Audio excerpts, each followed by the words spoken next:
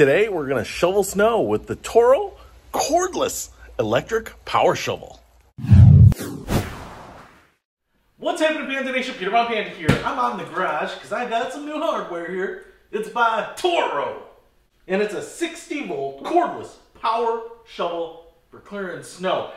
Now, I have long since given up on the shoveling snow out of my driveway, and that's just because it's too much of it, it takes too long, gotta get on to more important things. But I realized there are a ton of times when you actually won't use your snowblower in places, like clearing off a deck or a patio or your front sidewalk sometimes.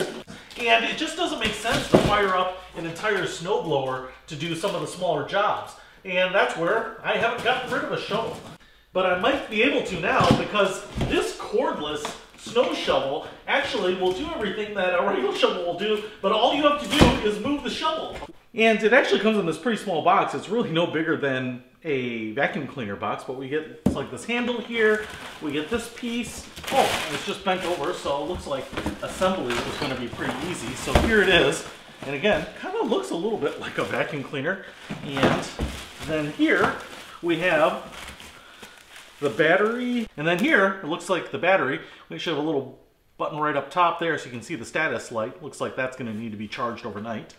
And then in here, it looks like we have the battery charger. Now, I've always kind of been interested in these, but I reached out to Toro and they were willing to send me this to check out. And the reason I was so interested in this one in particular is because these have been electric for a while, but they have always usually required a cord to them. Now, for me, because of the way things are laid out, I don't really have long extension cords. I don't have easy access to power outlets. And so it didn't really make sense to just get it in a corded fashion. And to get out in a long extension cord and to find power and then to push this around just didn't make a lot of sense. And it wasn't really any more convenient than just grabbing a shovel and doing some quick work. But the fact that this is cordless is great for me because the patio on the back or the patio on the front, the sidewalks on the side, there's just no way I wanted to move cords around. And this allows me to quick do all of that, which isn't a lot of real estate, but it's just really spread apart. And so something like this in cordless format is going to be really great. Now to put this together, it looks like this just goes in here. There's a little hole right here and there's a little detent right there. So I think that that is kind of idiot proof that I should just be able to kind of push this down there. A little detent pops out and then I can tighten this down here.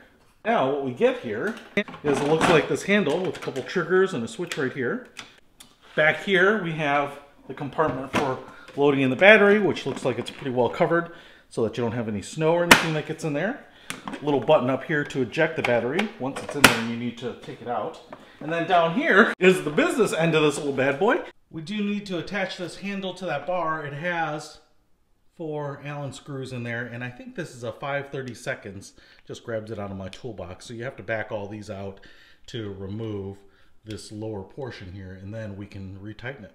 So it takes a little while, but then these will come off. And now we will just take this and attach it to the bar above the junction right there. And you will just have this so that the handle is facing up. You'll have one hand down there and then another hand on the handle. So we're just gonna put this back on and tighten them back down to secure this in place. So I got this snow shoveling beast set up. Got the power shovel down there, which looks just like a small snow blower, which is pretty awesome. And then the handle up there and then we have the battery. And the two triggers here, one's a lockout trigger and one's an activation trigger. So I think we might even get a little snow tonight. So I'm gonna charge up this battery and then maybe tomorrow morning we'll kick some snow butt. So before we use this, let's take a quick look at it. Down here is the power shovel portion. It looks like to be about a foot wide. Looks like just a small snowblower. You've got this little plastic auger here. And down on the bottom here, you actually have this like shovel like blade. So I think that's going to give you a real close grind to the concrete. You should be able to kind of scrape everything up. This portion down here where the motor and the auger is, is kind of heavy. I mean, it's decently heavy. It's probably maybe 10 pounds or something. But what I like about that is it's obviously not too heavy to carry around, but it also puts the weight right down here sinks into the snow so you should be able to blow decent amount of snow now if we go up here you got the handle here which is really nice slightly textured, slightly soft and rubberized, so you'll have a good grip on that, but it's a great balance point. And then here you have the control mechanism. You have two speeds, one and two, so I'm assuming two is a little faster.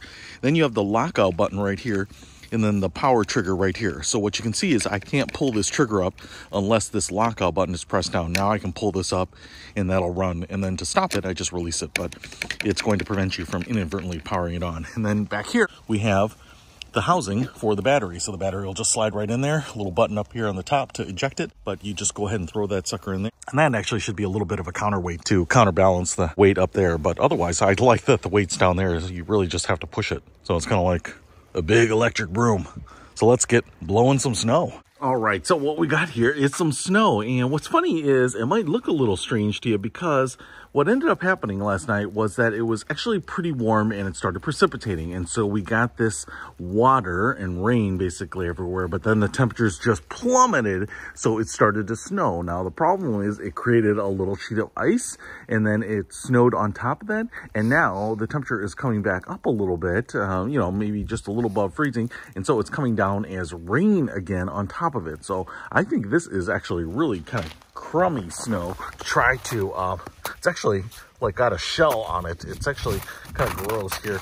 We've got definitely a couple inches of this stuff, but man, it's like slush balls and uh, really heavy. And as you can see here, a little hard to move around but it's not deep enough that it makes any sense to get the snowblower out, but it's also slick enough and substantial enough that I really got to get it cleared because someone walking around is going to slip and the cars are going to slip around and it's going to kind of compact it. And so I want to get it moved. So it's a perfect job for the power shovel. And I'm really curious if it will be able to get through two or three inches of slushy, slushy snow. So let's try it. I can see that the slot is up at the top here. So I'll put that in there so it can connect right into those little connectors there. Close that up. It's nice that it's held in with a little magnet here so it's not gonna flip open on me. And let's see if we can clear the sidewalk. Oh man. All right. Button down, trigger up.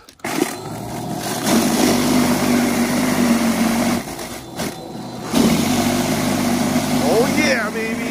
Dude. This is awesome. Look how far it's throwing that stuff too, man. All right. Wow, that was cool.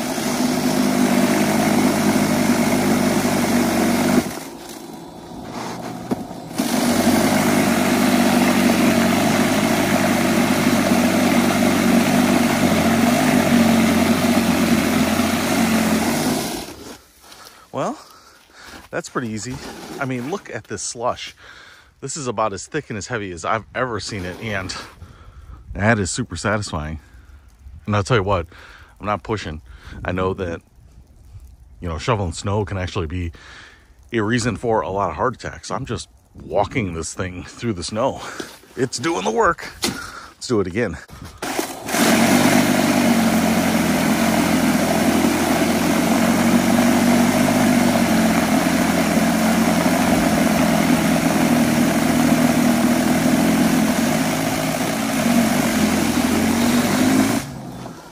That's awesome. The Amazon delivery guys are going to be happy that I did this for them.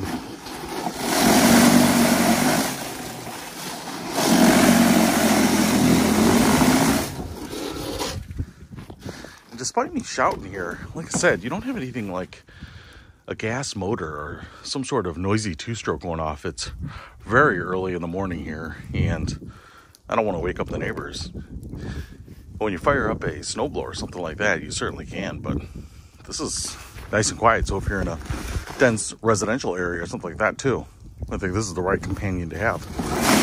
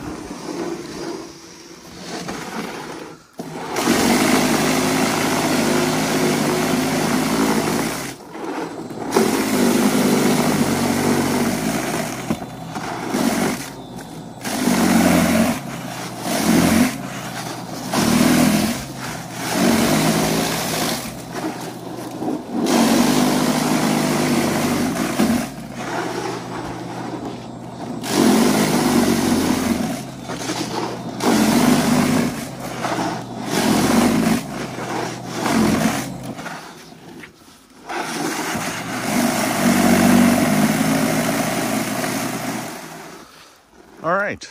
Well, that's the easiest way I've ever shoveled the front sidewalk. Now, the best thing about this is because it is cordless and electric, I can just walk it to wherever I need it without worrying about cables. So, just like that, don't have to move any extension cords around and I can come right here to the back. Now the snow blows and drifts on the other side of the house, so it doesn't look like I have much here, but it's pretty awesome. With my power shovel, I can just do a quick job of cleaning this off without having to fire up any motors or plug anything in. Let's get to it.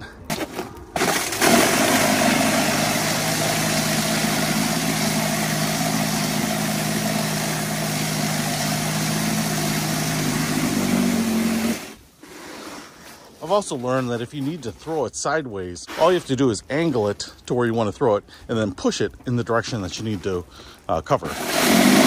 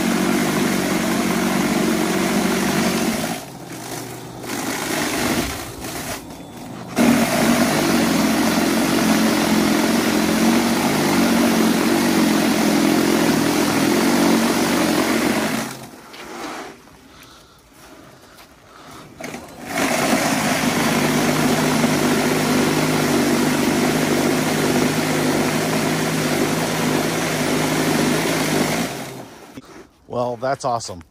That heavy, icy, slushy stuff was short work for this power shovel. I tell you what, if you're fortunate enough to have the light, fluffy, beautiful seasonal stuff, then this thing is going to be your best friend. But I am super stoked because now I know I can get shoveling done quick, easy, actually make it a lot of fun.